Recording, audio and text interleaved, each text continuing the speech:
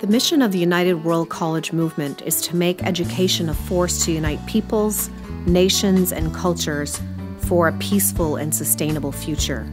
And this UWC mission drives everything we do here at Pearson College. Pearson College itself was established in 1974 in honor of Lester B. Pearson, Canada's Prime Minister and our first and so far only Nobel Peace Prize winner. Pearson students live, learn, and lead together during their two year stay on campus. They live together in five houses, they generally eat healthy meals together in our dining hall, and in fact, they eat many of the vegetables that we grow in student managed greenhouses. They also learn together.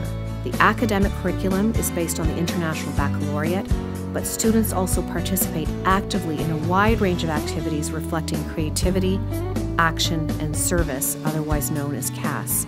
And through these academic and experiential learnings, they shared their diverse perspectives and cultures.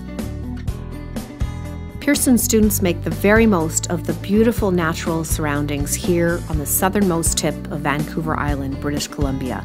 And they do so by participating in outdoor activities, ocean based activities, and our very own unique marine science class, which was in fact pioneered by one of our own teachers.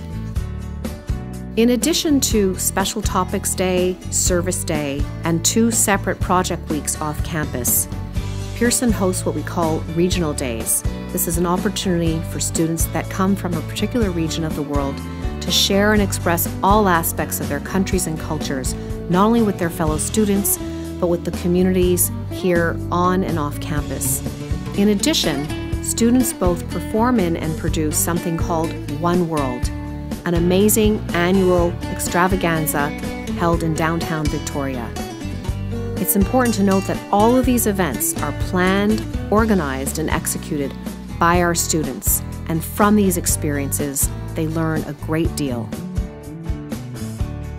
Here at Pearson College, students from all over the world, regardless of their country, race, religion, politics, or socioeconomic background, come together in this beautiful environment and they make magic happen every day.